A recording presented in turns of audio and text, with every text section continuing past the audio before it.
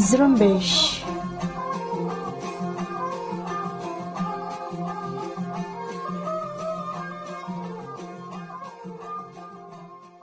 ये रेडियो जुरम्बिश उर्दू की आवाज़ है। आज जनवरी की सत्रह तारीख, इतवार का दिन और साल 2021 है और मैं हूँ आपकी मेजबान सारिन बलोच। रेडियो जुरम्बिश के आज की न्यूज़ बुलेटिन में बलूचिस्तान समेत इलाकाई और आलमी खबरें शामिल हैं। सबसे पहले पेश खदमत है बलूचिस्तान से मुतालिक खबरें।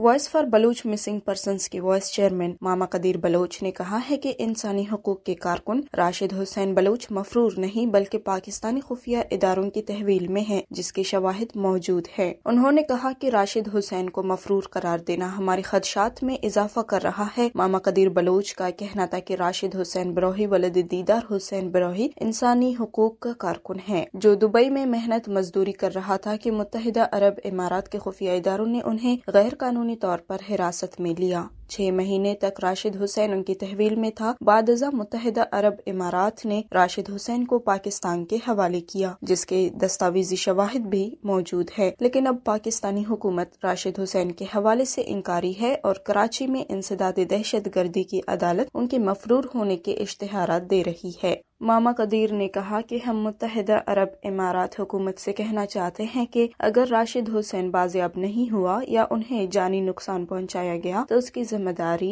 मुतहदा अरब इमारात पर होगी और राशिद हुसैन को मुतहदा अरब इमारात बाजियाब करे क्योंकि उनके खुफिया इदारों ने उन्हें हिरासत में लिया था। केच के तहसील मंद गयाब के रिहायशी शोएब बलूच, वलद लाल मोहम्मद के लवाहकिन ने मुतालबा किया है कि उन्हें बाजियाब किया जाए। कराची प्रेस क्लब के सामने बलोच मिसिंग पर्सन के एहतजाजी कैंप में शोएब वलदे लाल मोहम्मद की तस्वीर हाथों में उठाए उनके कमसन कज़न अब्दुल्ला ने हुकूमत पाकिस्तान से अपील करते हुए कहा कि मेरा कज़न शोएब बलोच, जिसे 24 मई साल 2013 को अगवा करके लापता कर दिया गया, जो ताहल लापता है, उसे बाजियाब किया जाए। उन्होंने कहा कि हमारा पूरा खानदान इस वक्त अजियत और परेशानी में मुबतला है। दूसरी तरफ़, एक साल कबल लापता होने वाले मंद ही के रिहायशी नवाज़ बलोच वलदी दोस्तीन बाजियाब होकर घर पहुँच गया है। Voice for Baloch missing person के चेयरमैन नसरुल्ला बलोच ने नवाज़ बलोच की बाजियाबी को खुश आइंद करार देते हुए कहा कि लापता अफराद की बाजियाबी मस्बत अमल है। इसी तरह, एक साल कबल जबरी तौर पर लापता होने वाले बेसेमा का रिहायशी अली बख्श वलद बरात भी बाजियाब हो गया है। पंजगुर में मुसल्ह अफराद ने कोयटा से पंजगुर जाने वाली बस लूट कर फरार हो गए हैं। इतलात के मुताबिक मुसाफिर बस अलजबैर कोच को मुसल्ह अफराद ने टीवी स्टेशन के करीब रोक कर मुसाफिरों के नकदी और मोबाइल फ़ोन लूट लिए। मुसाफिरों को लूटने के अलावा मुसल्ह अफराद ने बस ड्राइवर और क्लीनर को भी तशद का निशाना बनाया। कोयटा में हाजी फतेह खान रोड पर एक घर में गैस सिलेंडर फटने से दो अफराद जख्मी हुए हैं। मस्तुंग में वली खान के हदूद से एक नामालूम शख्स की लाश बरामद हुई है। कोयटा में बर्मा होटल के करीब मामूली झगड़े पर फायरिंग से एक शख्स हलाक हुआ है।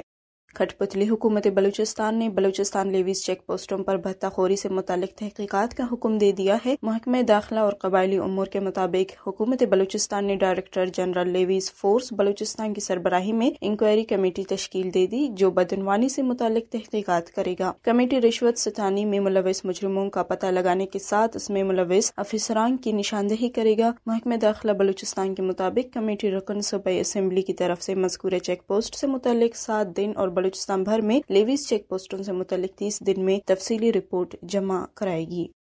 कठपुतली हुकूमत बलूचिस्तान ने ऐलान किया है कि कोयटा, कराची शहर पर ट्रैफ़िक हादसा की रोकथाम के लिए इस रूट पर चलने वाली 316 बसों में ट्रैकर सिस्टम नस्ब किया गया है। ट्रैक्टर डिवाइस का तनसीब से ओवर स्पीडिंग कंट्रोल और बसों का डेटा भी हासिल होगा। कठपुतली वज़ीर अला बलूचिस्तान जाम कमाल की जेर सदारत ग्रीन बस प्रोजेक्ट पर पेश रफ्त से मुतालिक आला सतही अजलास में हुकूमत बलूचिस्तान की ग्रीन बस मनसूबे और कोयटा, कराची शहर पर चलने वाली बसों में ट्रैकिंग सिस्टम की तनसीब का जायजा लिया गया और फैसला किया गया कि कोयटा कराची रूट पर चलने वाली 316 कोचों में ट्रैकर सिस्टम नस्ब किया जाएगा। खुजदार से लेवीज आसामियों पर मेरिट की पामाली के खिलाफ कोयटा तक लॉन्ग मार्च के शरका के एहतजाज को एक माह का अरसा गुजर गया है। लॉन्ग मार्च करने वाले अफराद का कहना है कि खुजदार में लेवीज आसामियों पर भर्ती के अमल में बेजाबतगियाँ की गई हैं, जिसके खिलाफ वो हुक्म बाला तक अपनी आवाज़ पहुँचाने के लिए लॉन्ग मार्च करके कोयटा आए और प्रेस क्लब कोयटा के बाहर उन्हें अपने मुतालबात के लिए एहतजाज करते हुए एक माह का अरसा गुजर चुका है। मगर इस दौरान किसी हुकूमती जिम्मेदार ने हमारी सुनवाई नहीं की, जो मायूस कन है। उन्होंने कहा की वो इस मुल्क के मकामी बाशिंदे हैं और वो अपने हक के लिए कोयटा आए हैं, मगर कोई हमें सुनने को भी तैयार नहीं। लॉन्ग मार्च के शरका ने कहा कि उनका एहतजाज मुतालबात की मंजूरी तक जारी रहेगा। बंदोबस्त पाकिस्तान सिंध कराची में पुलिस की तरफ़ से एक अस्करियत पसंद को गिरफ़्तार करने के दावे को voice for missing person of Sindh ने मुस्तरद करते हुए कहा है कि मजकूर शख्स गुजशत छह महीने से जबरी गुमशुदगी का शिकार था। कराची पुलिस ने दावा किया था कि उन्होंने खुफिया इतला पर कराची के इलाके इतिहाद टाउन में ऑपरेशन करते हुए भारतीय हिमायत याफ्ता खतरनाक मुलजिम को गिरफ़्तार कर लिया था, जो पाकिस्तानी फोर्सेज और तनसीबात पर हमले में मुलविस है। दूसरी जानब, सिंध से लापता अफराद की बाजियाबी के लिए जदोजहद करने वाली तंजीम ने पुलिस के दावों को रद्द करते हुए कहा है कि मंसूर जो गुजशत छह माह से लापता था, अब उन्हें कराची से गिरफ़्तार ज़ाहिर करके दहशत गर्द ज़ाहिर किया जा रहा है, जो झूठ पर मबनी है। Voice for missing person of Sindh के बयान में मजीद कहा गया है की पाकिस्तानी फोर्सेज सिंध के मुख्तलिफ़ इलाकों से गिरफ़्तार और लापता अफराद को मुबैना ऑपरेशन में गिरफ़्तार करके मुसल्ह तंजीमों से जोड़ रही है। रियासत के इस अमल से तंजीम को लापता अफराद की जान का खतरा महसूस हो रहा है। तंजीम ऐसे अमल की भरपूर मुखालफत करती है और इसके खिलाफ एहतजाज करेगी।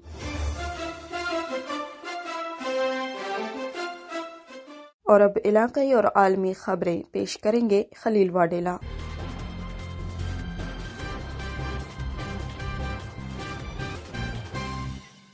बंदोबस्त पाकिस्तान कैबर पख्तूनख्वा के इलाके शुमाली वजीरिस्तान में नामालूम हमला आवरों ने फायरिंग करके वली अल्लाह दावड़ नामी डॉक्टर को कत्ल कर दिया है। इतलात के मुताबिक डॉक्टर वली अल्लाह बन्नू से अपने गाँव मीरली अरमस जा रहे थे कि मीरली बाईपास रोड पर नामालूम हमला आवरों ने हमला कर दिया। पुलिस के मुताबिक doctor Wali Allah Dawar Bannu medical college में पैथोलॉजी के प्रोफेसर थे। मकामी जराये के मुताबिक मकतूल अरब थे और अतवार के रोज मीर अली में मरीजों की चेकअप के लिए आते थे।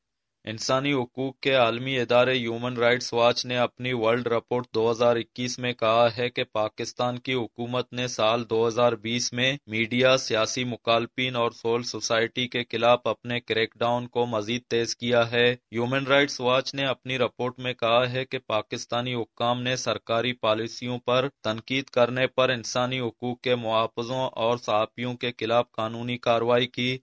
हुकूमत पर तनकीद करने वाले अखबार जंग के editor in chief Mir Shakil Rahman को छह माह तक कैद में रखा गया।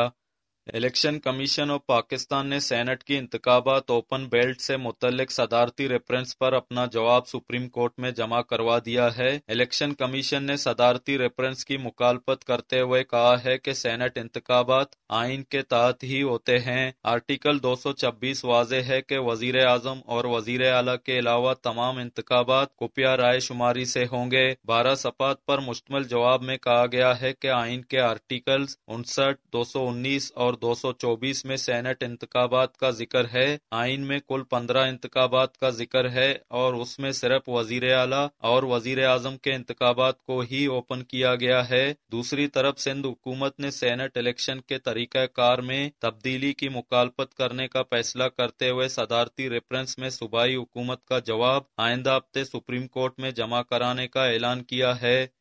अफ़गानिस्तान में पुरतशद वाकयात का सिलसिला जारी है। हफ़्ते की सुबह दारकूमत काबुल समेत चार सूबों में हमले हुए हैं। हमलों में काबुल कंदहार इर्रात और इलमंद में उन्नीस पुलिस एहलकारों के हलाकत की तस्दीक हुई है। रेडियो जुम्बिश को मिलने वाली इतलात के मुताबिक काबुल में गाड़ी पर धमाके के नतीजे में पुलिस के दो एहलकार मारे गए। काबुल ही के इलाके कैरकाना कोतल के मकाम पर कार में सवार पुलिस ऑफिसर सईद मोहम्मद को भी मकनातीसी बम हमले में निशाना बनाया गया, जिसमें वो हलाक हो गए। सुबह रात में साथी पुलिस एहलकारों की फायरिंग से बारह एहलकार मारे गए। जराये का कहना है कि मजकूरा हमला और तीन रोज कबल पुलिस में भर्ती हुए थे। जुनूबी सूबा इलमंद के जिला ग्रेशक में पुलिस बेस को खुदकुश हमले में निशाना बनाया गया, जिसमें चार एहलकारों की हलाकत की तस्दीक हो सकी है। इसी तरह कंधार में पुलिस बेस को बड़ी नौयत के हमला हुआ है, जहाँ गाड़ी में सवार खुद खुदकुश हमलावरों ने पहले अफगान इंटेलिजेंस के दफ्तर को निशाना बनाया, जिसके बाद दीगर हमलावर पुलिस बेस में घुस गए।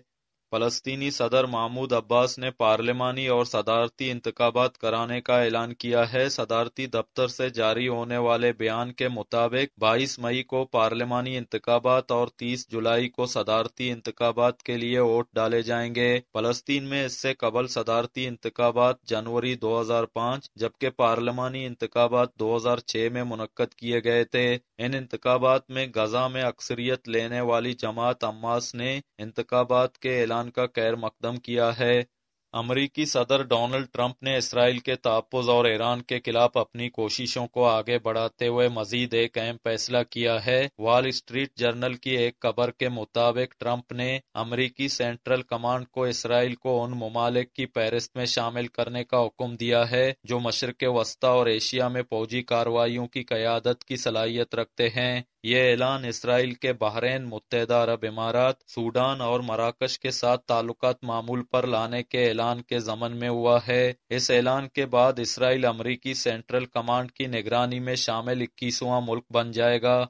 अमेरिका के नौ मंतखब सदर जो बाइडन ने कोरोना वायरस से पैदा होने वाले बहरान पर काबू पाने के लिए 19 खरब डॉलर के कोरोना रिलीफ पैकेज का ऐलान किया है, जिसका निपाज ओहदा संभालने के बाद करने के ख्वाहिशमंद हैं। नौ मंतखब सदर ने कोरोना रिलीफ पैकेज को अमेरिकन रेस्क्यू प्लान का नाम दिया है। प्लान के मुताबिक जो बाइडन ने बीस जनवरी को अपना ओहदा संभालने के बाद अपनी सदारत के इब्तदाई सौ रोज के दौरान अमरीकी अवाम को दस करोड़ वैक्सीन लगाने का अदब मुकर्र किया है। व्हाट्सएप ने सार्फिन की प्राइवेसी से मुतलक पॉलिसी में तब्दीली का मुतनाज़ा फैसला वापस लेने का ऐलान किया है और कहा है कि कंपनी सार्फिन की प्राइवेसी के हवाले से नया जबता इखलाक नाफज नहीं कर रही है। व्हाट्सएप ने सार्फिन के एहतजाज के बाद एप्लीकेशन सर्विस की शरात में तरमीम मुलतवी कर दी है। कंपनी का कहना है कि आठ फरवरी को कोई भी अकाउंट बंद नहीं होगा। कंपनी का कहना है कि वो नई राजदारी और सिक्योरिटी पॉलिसी के बारे में गलत मालूम की वजाहत के लिए ज़्यादा से ज़्यादा कोशिश करेगी। इसी के साथ ही आज के न्यूज़ बुलेटिन का अख्ताम होता है। अपने मेजबान सारिन बलोच को इजाज़त दीजिए और मजीद खबरों के लिए विज़िट करते रहिए हमारी वेबसाइट जुरम्बिश डॉट कॉम।